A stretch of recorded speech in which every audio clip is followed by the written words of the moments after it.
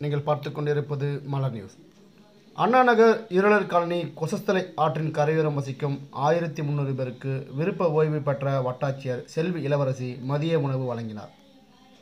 திருவள்ளூர் மாவட்டம் எல்லாபுரம் ஒன்றியம் திருக்கண்டலம் ஊராட்சி அண்ணாநகர் இருளர் காலனி முள்ளுத்தோப்பு உள்ளிட்ட பகுதியில் கொசஸ்தலை ஆற்றில் ஏற்பட்ட வெள்ளப்பெருக்கின் காரணமாக தண்ணீர் சூழ்ந்து வாழ்வாதாரம் பாதிக்கப்பட்ட குடும்பத்தைச் சேர்ந்த சுமார் ஆயிரத்தி இரநூறு பேருக்கும் அக்கரபக்கம் ஏரிக்கரையின் ஓரத்தில் வெள்ளநீர் சூழ்ந்த வீட்டில் வசித்து வரும் வாழ்வாதாரம் பாதிக்கப்பட்ட சுமார் நூறு பேருக்கு என மொத்தம் ஆயிரத்தி முந்நூறு பேருக்கு மதிய உணவை திருவள்ளூர் மாவட்டம் எல்லாபுரம் ஒன்றியம் கன்னிகைப்பேர் கிராமத்தில் இயங்கி வரும் அன்னை தெரசா கல்வி மருத்துவம் விளையாட்டு மற்றும் சமூக அறக்கட்டளையின் சார்பில் அறக்கட்டளையின் நிறுவனர் விருப்ப ஓய்வு பெற்ற முன்னாள் வட்டாட்சியர் செல்வி இளவரசி வழங்கினார்.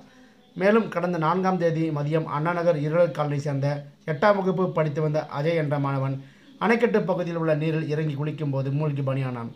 அந்த சிறுவனின் பெற்றோருக்கு நேரில் செலுத்தி ஆறுதல் கூறி ஒரு மாதத்திற்கான அரிசி மற்றும் உதவிப் பொருட்களை அறக்கட்டளை நிறுவனர் விருப்ப ஓய்வு பெற்ற முன்னாள் வட்டாட்சியர் செல்வி இளவரசி வழங்கினார்.